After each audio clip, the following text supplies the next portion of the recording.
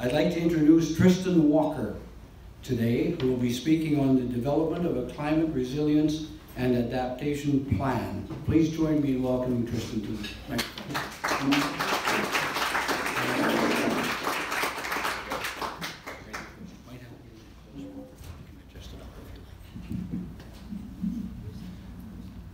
Good afternoon, everybody. It's awesome to see so many smiling faces in the room.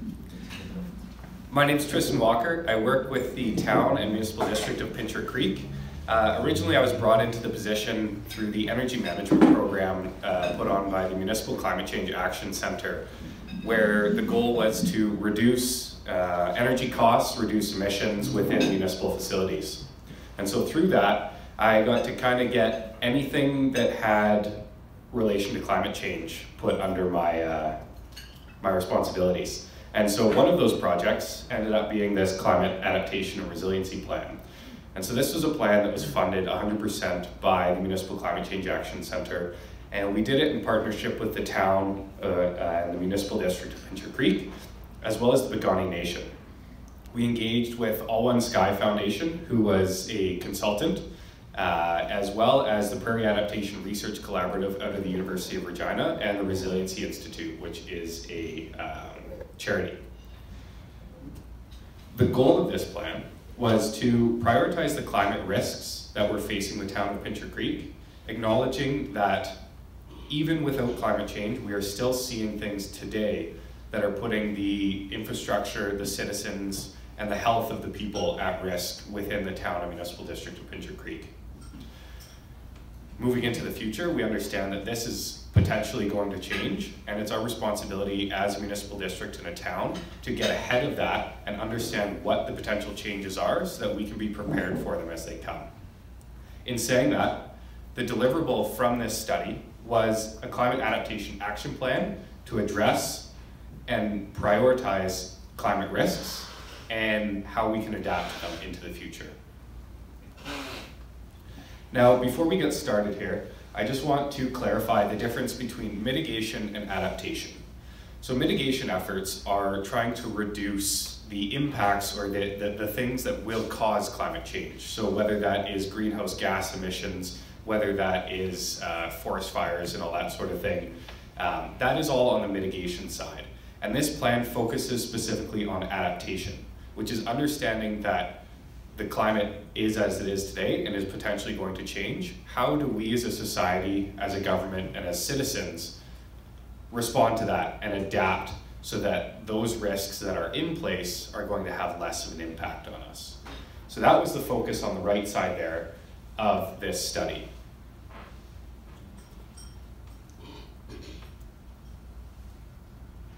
Oh, there we go, I think, yeah. So Within the study, it was broken down into four key phases. We started in October 2022 uh, to develop this plan, and the first phase was to do the research and background information. So this involved looking at all of the plans, uh, the policies, the bylaws, the, the state of our infrastructure that already exists within the town and municipal district of Pincher Creek. Phase two, which started in December, uh, involved climate modeling. So this is where the Prairie Adaptation Research Collaborative came in. We brought them in and they did climate models of the municipal district and they were able to do them down to 25 square kilometer uh, squares basically within the municipal district and identify how the climate would change based on a variety of variables when the world hits three degrees of warming. And the way they did this was they looked at the history of the area and the variables that were associated with what happened to the climate, and then they projected that into the future based on what they were seeing and what the projections would potentially be. The second part of that phase two was a community survey. So throughout this entire process, it was very important to us to understand what our community felt were the risks, where they were worried about what would happen with climate change, where they were worried now. And so throughout that survey, uh, we did our best to respond or to engage with all of the stakeholders within our community. Phase three started in February 2023, and that was a climate risk assessment the Climate Projections Report, so Prairie Adaptation Research Collaborative released their report, and then a community open house. And so that community open house, uh, we brought or invited community stakeholders uh, to come to the table and to look at the risk assessment that we had done based on the results of the survey and the climate risk assessment that was done with uh, stakeholders throughout the, uh, the, municipal district and the town. So this included municipal staff, uh, charitable organizations that worked within the area on land use, uh, government organizations, as well as just general community members that we did this risk assessment. And then finally, we did an action planning session and the final climate adaptation plan, which included a, a takeaway brochure that we try and make available at both the town and municipal district office for residents and stakeholders to, to take away and understand what the highlights of that plan were without having to read the 150 pages. So a little bit of background on our community engagement. We had 211 valid responses from our survey. Uh, we felt that it was correlated well with the statistics that we had of the population within the town and municipal district. Um, we did find that there were a lot of robots that responded. However, uh, we didn't include those ones because we felt it would skew the statistics a little bit.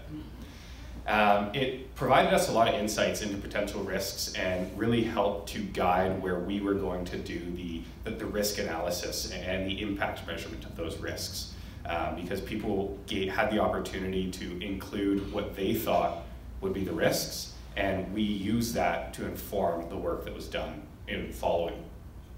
The picture on the right there is an open house that we held on April 13th to present and discuss these climate risks that we had, and then provide an opportunity for the community to come up with adaptation measures. So understanding that there is a lot of skill sets within the community, a lot of deep knowledge um, that could potentially offer up adaptation measures that we wouldn't have thought of. And so by being able to bring out all of these people to, to put their heads together and to collaborate, to come up with ideas, I it was able to add depth to our adaptation plan that, that wouldn't have been possible without it. And so we were really happy to have about 40 people come out for that and uh, engage in a three hour session. Uh, we had poster boards set up around analyzed all of the different risks and offered people an opportunity to discuss and write down and all that sort of thing. Now, these climate projections, and so this map on the left is an example of the uh, changes in number of hot days that we're going to see when the world hits a three degree warming difference. And so we made these maps for a variety of different factors. We looked at spring precipitation, at summer precipitation, winter precipitation, the number of frost-free days that we're going to be seeing, uh, the number of hot days, the number of very hot days. This can all be found uh, on our MD of Pincher Creek website. Um, I won't go into too much detail about all of the different kinds, but it, it really is quite astounding how the Prairie Adaptation Research Collaborative was able to narrow down what we would see within the municipal district of Pincher Creek. So as you can see on the left side, where we have all our mountains, we're not seeing a very high increase in the amount of hot days. But as we get more east throughout the municipal district, we get to an increase of 27 days above 30 degrees Celsius in the municipal district. So the town is kind of in the, the middle right corner there. I don't know if I can get my mouse to show. No, oh, there we go. So town's right here. So that's gonna see about an increase of 20, 22 days uh, that are hot. And we were able to do this for, for every different profile. So we were able to see where we're gonna get concentrated uh, precipitation, where we're gonna get that reduction in frost-free days, where we're gonna get that uh, increase in heat. And so this allows us to guide what kind of risks we see and, and, associate that with where the population centers are, where the infrastructure is, um, and, and where the high value land is. And to note, this is probably estimated to happen about 2070. Obviously, with these projections, there, there's a lot of variability, and it's like trying to guess the stock market. You can never be right. Um, but at least it gives us a, a, platform to, to try and develop some information from, whatever that's going to look like. The next thing we did was an economic analysis. So we took into account all of the infrastructure, all of the health impacts, all of the land values that were in the town and municipal district, and we tried to estimate what the impact of climate change would be on all these factors. And so as we can see in these donut charts at the bottom, by 2055, we're going to see a change in value of about $18 million in the impacts of climate change. So things like wind events that are going to knock down power lines, things like health effects of heat and smoke um, that are going to overrun our hospitals, things like um, increased cooling costs, but we'll also see a decrease in heating costs, right? So, so some, sometimes there's value. The other thing that we saw was an increase in agricultural land value. And so this is an interesting one because the way these are modeled is they do a, distribution curve. And so they look at a whole year's worth of precipitation. So when they see that, we would get an increase in annual precipitation. However, we're going to get a decrease in the summer precipitation. So we're going to get some extended droughts in the summer. These models don't take that into effect. So when they say we're going to get an increase in agricultural land value, they're assuming we're going to get uniform precipitation over the whole year. Realistically, if we're getting droughts throughout the summer, that land value probably isn't going to be as high as projected, right? So, like I said, these aren't 100% accurate. They're probably not going to happen, and they need to be taken with a grain of salt, but they give us an idea. And so by 2085, we're seeing a change in value of about $33 million uh, in the effects of climate change. And one of the big reasons for doing an economic analysis like this is it allows us to create the uh, investment profile of the adaptation measures. So if we don't have an idea of how much things are going to cost, how are we supposed to justify spending money on things to stop those, right? And that's where this really comes into help. And so generally with adaptation measures, we're seeing an investment payback of four to five to one. So for every dollar you spend, you're going to see a savings of about four or five dollars. And so that that's allowed us to justify hopefully putting some more budget towards a lot of these measures in the coming years.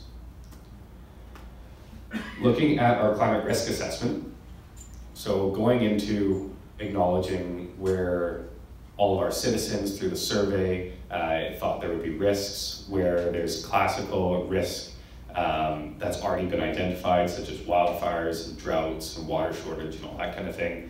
What you do is you, you take a likelihood score. So the likelihood that it's going to happen. When you come to uh, an overland flood, that's not very likely in Pincher Creek. But when you multiply it by your consequence score, the consequence of the creek itself flooding is very high, right? You lose a lot of land value, you can lose properties, you can lose people's livelihoods. And so that gives us our overall risk. And that's how we did the, um, the, the initial baseline assessment to identify what the top risks in the area are. And those risks are shown here. So on the left side, we have the, the unlikely things. So you can see up in the top left, the river creek flooding, the overland flooding. More possible are wildfires and droughts. And then almost certain we see wildfire smoke. Even this year, it was awful, right? Last year, it was pretty bad. That's not gonna change. We see the extreme heat, and loss of winter recreation. So as we get those lack of frost-free days, the people that come sledding uh, in the Pincher Creek region, right? They're not going to be able to access the sledding terrain because the valley bottoms aren't going to have snow.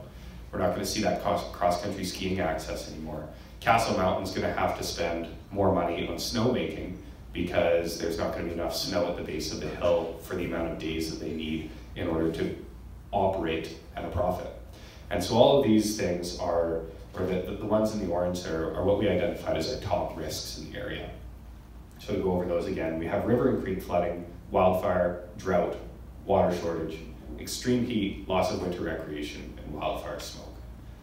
The rest of them were identified as risks. However, for the purpose of this, we had to uh, narrow it down a little bit for the adaptation measures um, so that our scope wasn't so big that we're trying to tackle every single problem that exists. We're, we're going to try and get the ones that are going to have the most impact and are the most likely. So again, those are priority climate impacts. And these categories, uh, so health and well-being, disaster resilience, infrastructure, parks, environment, and eco economy, are what the United Nations uses to categorize their climate risks. And so what we tried to do was come up with adaptation measures that would fit into each one of these uh, categories so that we could structure and scope these projects to be associated with things like grant funding that's going to come out, with things like um, infrastructure planning and municipal development plans. And if we can have those structured in this way, it makes it a lot easier to separate them out and to access um, support when needed. So the vision for us is to create a, re a region that is safe and resilient all, for all to enjoy responsibly. So to give you a little bit of background on some of the actions that we uh, determined to be options. So within the health and well-being, so support community gardening was a big thing. Give people access, uh, this is not only a health benefit, but it also allows for food security. So in times of drought and high food costs, that there's a small area within town that people can grow their own food or grow their own food on their own properties. The next would be to install outdoor water features. So this helps with the, um, the extreme heat events. Obviously, when you have a drought, um, outdoor water features probably aren't the, the best thing to do, and so that there's going to have to be some kind of control measure in place for when you decide to, to operate those or not.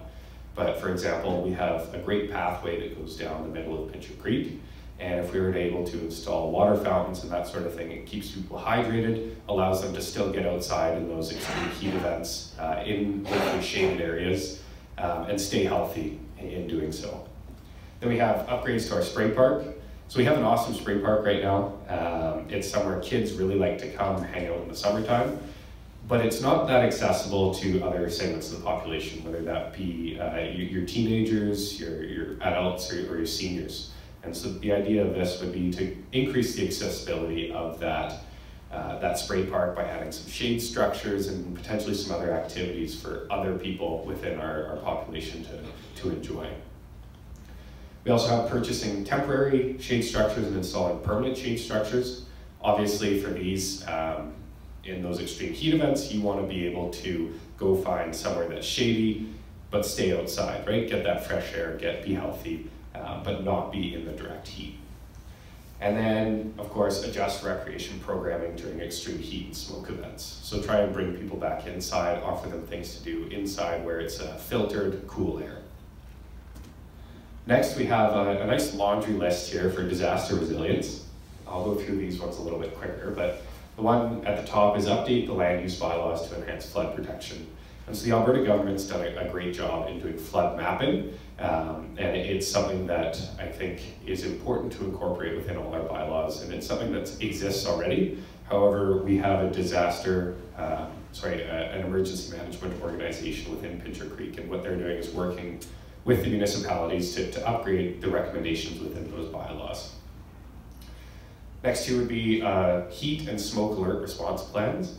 So supporting our community in helping them be aware of when it's dangerous to be outside because of smoke and heat and what to do in those cases. So whether that's go to a, a cooling center, um, things to do to your own house, kind of access and egress to different areas and all that sort of thing. And that's something that our emergency management organization is also working on.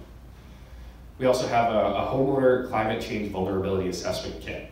And so this, the, the goal of this is to give homeowners a basically a checklist or, or a little game where they can play and they can understand how vulnerable their own property is to climate change. Whether they're on a creek, whether they have air conditioning or not, what kind of filtration they have, the insulation on their properties, um, if they have a lot of built up infrastructure within uh, tree areas with a lot of downed uh, brush and that sort of thing you're going to be at an increased wildfire risk. So giving people an opportunity to do the assessment themselves without having to go to each house individually. And then on that note, giving them the opportunity and the information for what they should do to respond to that. Uh, a couple other ones here, we have a drought response plan, and that's something, I don't know how familiar you, everyone is with Pincher Creek, but currently our freshwater intakes are above water. Um, so we're trucking water every day, uh, which is a large cost and it's not resilient. So being able to come up with a plan that's going to respond to these sort of activities or, or, prepare for them in the future so that we're not having to scramble to, to make sure that our citizens have water. We also see uh, research to understand future wind patterns.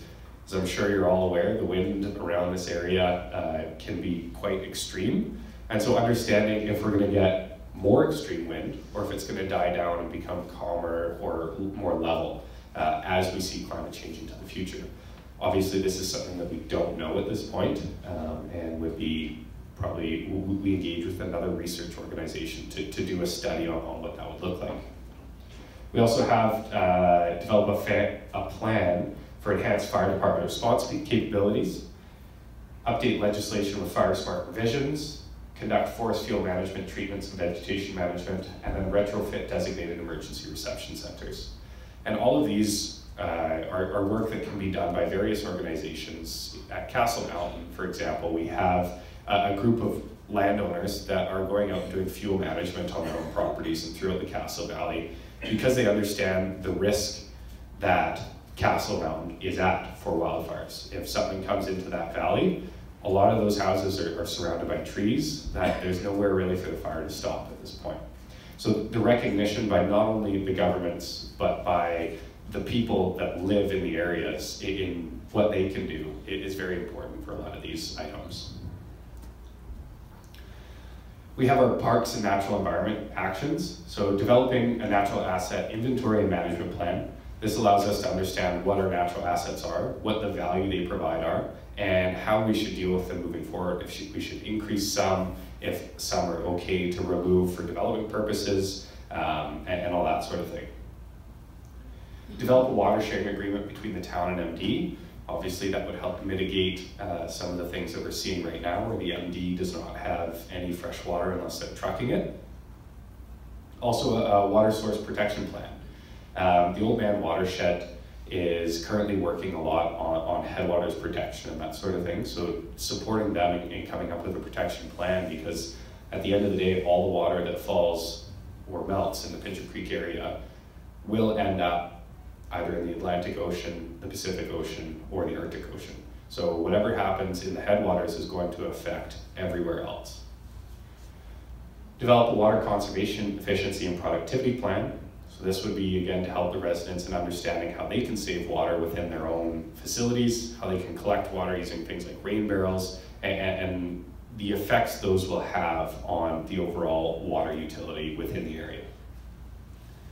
Uh, again, get into the water bylaw for improved water pricing structure so that we can evaluate the water that's used and, and make sure that people are understanding what that value is and not just letting it brush over their head and doesn't matter. Enhanced support for watershed planning and protection. So that's similar to the source water protection plan. Uh, this would be more in supporting the, the organizations that develop that sort of material. And then we have a tree planting program, enhanced irrigation infrastructure, and enhanced environmental monitoring. On the monitoring side, the more that we can understand, um, the more that we can respond and act early so that we can be ahead of things. Last one here, I think, is the economy actions. So provide climate resilient education material to farmers and ranchers so that they can understand how their products and actions are, are going to be affected by a potentially changing climate into the future. Develop a tourism and recreation master plan. Um, the Highway 3 corridor has been identified as an area for tourism uh, growth by both the government of Canada and Alberta. And so it's, it's on the municipalities to understand that and be prepared for the growth of tourism in the area so that it's not going to affect us or our, our environment. Improve accessibility to outdoor recreation, and finally enhance marketing to the Pincher Creek region. With our infrastructure actions, uh, so develop a climate resilient procurement policy, research climate resilient building materials and infrastructure in support of anything that the municipal district or town does, but also for our residents. Upgrade our municipal buildings to provide better protection from extreme heat. So this is improved uh, air conditioning as well as uh, improved uh, building envelope. And then flood mitigation infrastructure and the potential for uh, solar panels to reduce evaporation from the reservoir at the town. And the last slide here is the, the importance of implementation. So everything can be planned, and that plan is very easy to just put on a shelf and forget. So within this, uh, a couple of the recommendations that were identified in order to make sure that these items get implemented are a dedicated staff time, commitment of annual funding, and monitoring and evaluating. So every couple of years going back, looking at the plan and seeing what we've done. I'd like to thank you for your time today and would welcome any questions that you have. We move into questions and answers. Uh, There are some thank yous that I would like to pass on. Um, First of all, thank you to LSCO for the donating the room. We can help them by buying food when we come to our meeting. I thank the University of Lethbridge, Shaw or Rogers TV, um, the Lethbridge Herald for uh, their coverage when they provide it. And most of all, thank you for coming out today. We appreciate your attendance. The next week's speaker is Markham Hislop on unethical oil and gas, Alberta's shameful secret. So we'll begin the question and answer uh, Can you period. mention these, uh, That was on the other side of the page, I couldn't turn it fast enough. Uh, on your table, there is the uh, change or folding bill jar. We would appreciate your contribution to SACPA, and you can also purchase memberships uh, for uh, our organization. So we'll begin with the questions and answer period. I will uh, uh, ask the speakers to line up on this side, and we'll turn it back over to, to Tristan in a moment. Please keep your questions short and brief, and we, we, uh, uh, we get through the questions that you do have. Thank you. Awesome. hi Tristan, my name is Henning Mundel. And uh, where you ended, I guess my question could lead into another whole uh, session. Because, yes, you basically provided all, develop, develop, develop, develop. Okay, now implementation. So my question is sort of twofold. What kind of time frame is forecast for the implementation of various aspects? And secondly, what are the sources of funding? Very good question. Um, so to answer the first part, the, the time frame on the sor- uh, implementation of these things ranges depending on uh, the, the scale, obviously, of the implementation measure and um, how critical it is to get it done. So within our our report, we we ranged it from about two to ten years in, in getting some of these things done. And if you'd like to read more about that, um, you can access the report itself, and it'll outline how those numbers kind of came up. Where the funding's coming from. So, like I mentioned, we're seeing payback anywhere from four to five to one uh, for dollars spent versus dollars saved. And one of the interesting things is we're seeing insurance companies getting into investing in adaptation because they're the ones at the end of the day that are on the hook for any of the destruction that happens due to climate events. And so if they can spend four to five dollars up front and save 15 to 20 in the future, that's a really good investment for them. The other places we're seeing investment, uh, that the government of Canada has put multiple billions of dollars uh, into climate adaptation funding over the next couple of years. I believe out to 2028, and that's probably something that we're going to see uh, recapitalized at, at the end of that because like the insurance companies, oftentimes the, the federal government is who has to come in and fit, foot the bill when a lot of these damages happen because the, the organizations, whether that be the municipalities or the private companies, don't have the, the underlying capital to, to be able to rebuild in, in these situations. So, great question, and uh, yeah.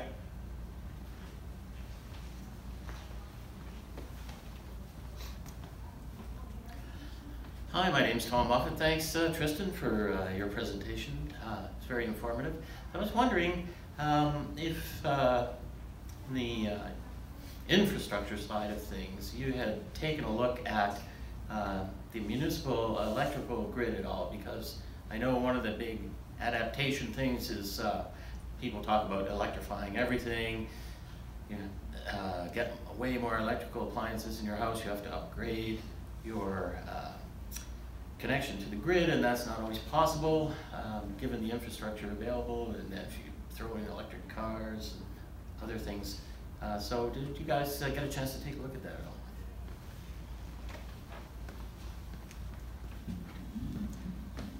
That's a, a very good point. Um, and I should have made the preface before this. So this was focused on action items that the town and municipal district could undertake themselves.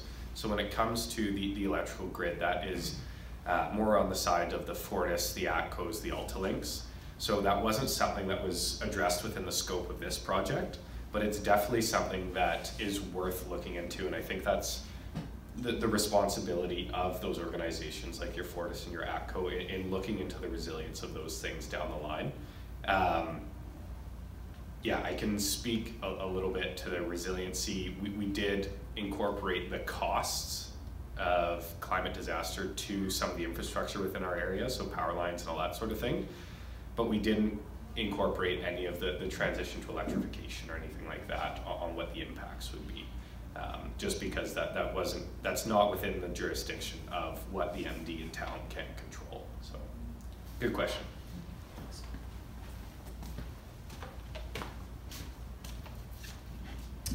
Tristan, uh, thank you for your presentation. A lot of detail there to absorb. Um, if you gave background on this uh, question, then I missed it. But uh, your your projections seem based on an increase in temperature of three percent. Uh, I'm not a climate expert, but I had the impression that was on the high side. I wonder, you want to say more about where the background to that 3% figure? And, and what timeline? The name. Hmm? Your Oh, name. you know his name. No, no. My name is Terry Shillington. Your name is Tristan.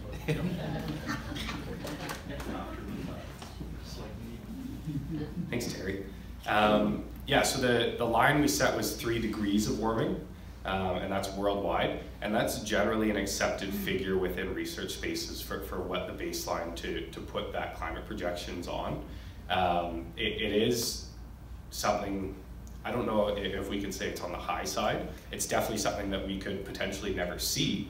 Um, but like the stock market, you, you kind of have to set a baseline somewhere and, and understand what the achievability is. And so we're already looking at, we've already passed basically a degree of warming from our baseline. And so the, the three degrees is projected to happen about 2060 to 2080 uh, if we don't do anything. And that, that's one of the big considerations in this is this is assuming that nothing gets done. None of these adaptation measures get done. We're not mitigating any climate change, anything like that. And so, so that's where that's coming from. Um, was there another part of your question that I missed? Sorry. No, you answered it. Awesome.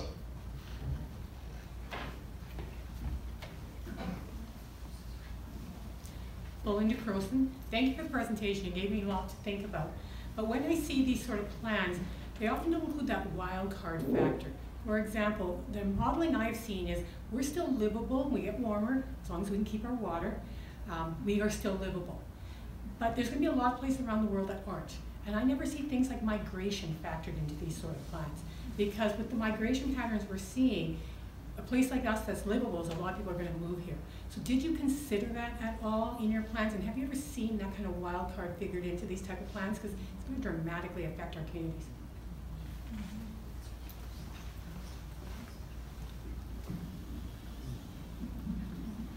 Awesome question. Um, it's something that we considered at the outset of the plan, but one of the considerations with this is you can really let that scope grow as big as you want. Um, and so we had to kind of draw a line somewhere. And so we ended up not including things like changing food sources or immigration and that sort of thing, just because it, it's not local to our area per se. Of course, if people come and we change what kind of food we're growing in our supply, it's going to end up being local. But within these projections, it, it's very hard to to quantify that, right? Because it, it could be such a different range. And so absolutely you're right, it could have a major effect on our areas, but within that effect, we're still going to see all of these things that were listed here as critical regardless of whether we get immigration or not. And so the, the idea was um, that, that we're going to focus on things that, that are going to be related to the, the climate change specifically in the area as opposed to climate change in other regions. Because of course, we're going to see that difference in other regions, but we don't have the capacity to model out where is going to be livable and how much of those people are going to come into the, the Pincher Creek area. So I think on a on a United Nations scale, on a, on a federal scale, that's definitely something that, that needs to be considered, and I think it is. Um, but within our, our municipal district and the town, it, it's not something that was included within the scope of this project.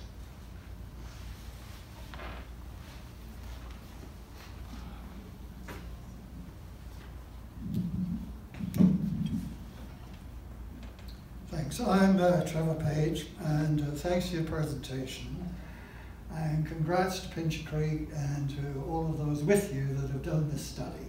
Really good to see this kind of work is being done. It's needed worldwide. Uh, I wonder if you could elaborate a little more on, on the economic side of things uh, in relation to your projections, particularly on agriculture and, and climate adaptive crops. What do you see, uh, how do you see farmers switching in the area in the years ahead? Thank you.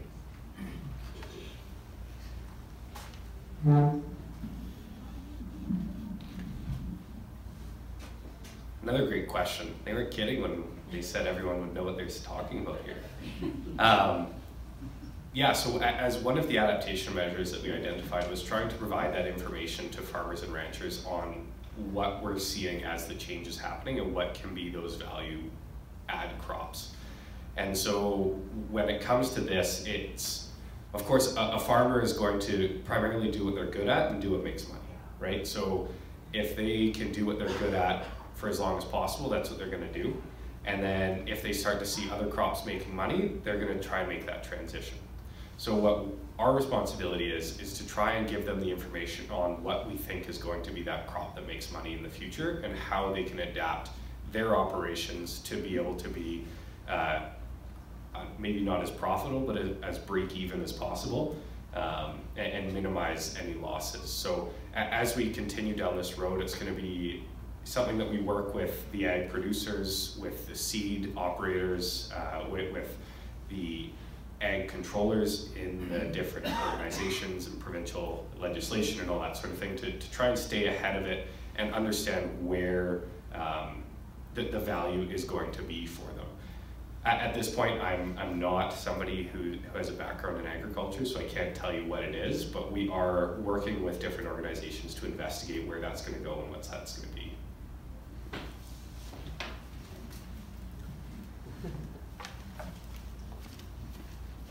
Thank you. Thanks for your presentation. My name is Mary Shillington. Um, I kudos to your to Pincher Creek and the area that you took on this project, and I'm wondering where the how, how did the spark move along in order to do that, and are other uh, towns and municipalities getting interested in your your study and and finding out more information so they can do it too. So those are my questions.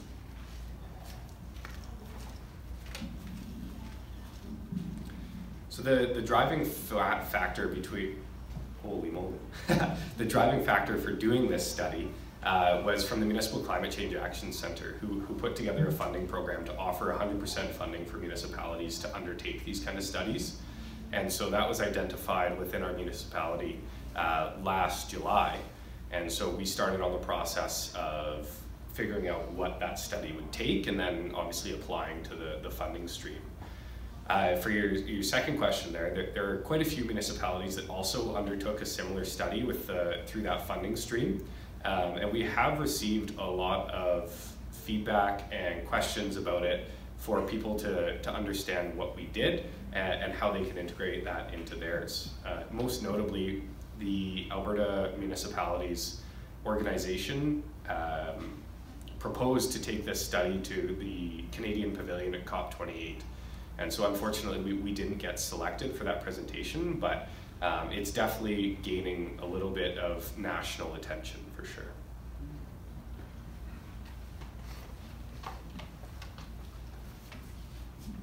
Thanks, Tristan. I'm Ian Hurdle. Uh, as a part-time uh, resident of your area, um, I've got two questions. One is, um, the Piikani Nation, how did they respond to this and partake in it? Because sometimes they're outsiders.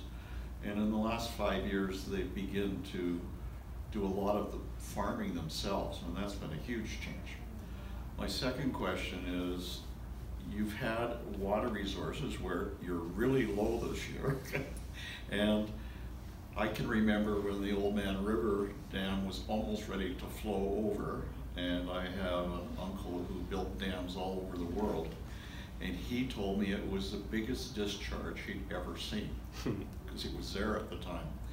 So you have the streams of huge amount of water, little, how does your projections try to adapt to that?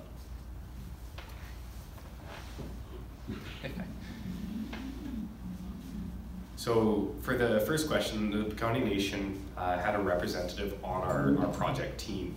Uh, so we met basically every two weeks to discuss uh, results, to, to plan future, uh, whether it's community engagement sessions or, or review the, the consultant's work. And so they were directly involved there. And one of the major topics that was continuously brought up is these climate changes don't stop at borders right? So just because the MD of Pincher Creek is its own entity and the Piikani Nation is their own entity, that doesn't mean that the climate's going to stop and say, oh, okay, we're not going to do anything over here.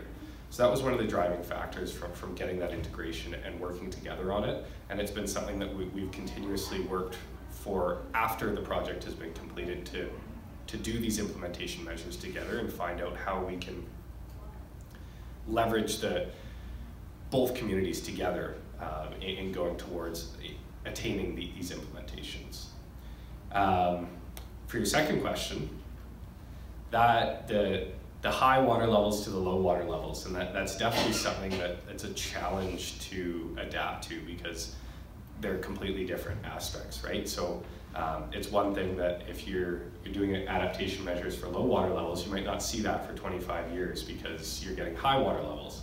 But when that 25 years happens and you do get the water levels, it, it's important to have the systems already in place and to understand what you're going to do, and vice versa. So um, basically, it's just going two completely different opposite directions and making sure that we're prepared for both. Um, because, like you said, that these things are cyclic and we are going to see high water levels again, um, but who knows when that's going to be.